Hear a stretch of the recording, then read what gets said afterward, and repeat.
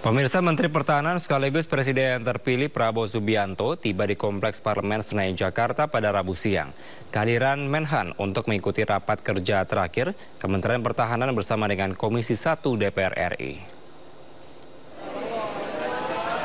Prabowo tiba di gedung DPR langsung disambut Wakil Ketua Komisi 1 DPR Sugiono.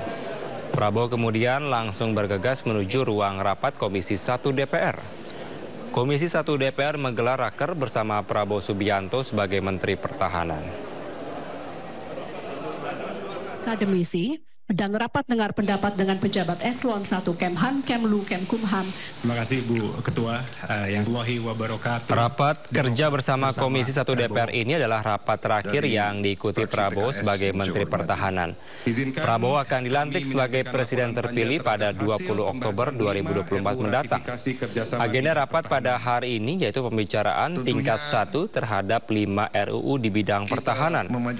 Selain Prabowo, rapat juga dihadiri Menteri Hukum Hukum dan HAM Supratman Andi Atga dan Wamenlu. Untuk kepada forum rapat kerja. Mohon maaf apabila dalam pekerjaan saya selama lima tahun sebagai Menteri Pertahanan ada sesuatu yang mengecewakan saudara-saudara kalian.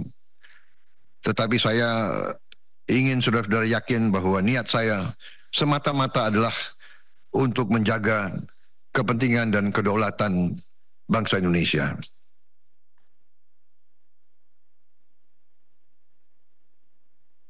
Dengan demikian, saya mohon diri kepada saudara-saudara dan saya diberitahu bahwa ini adalah mungkin rapat terakhir bagi Komisi Satu dengan Kementerian Pertahanan.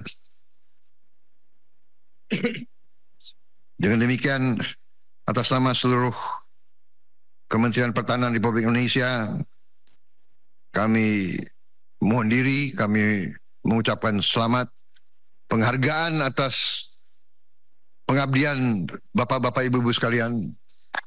Dan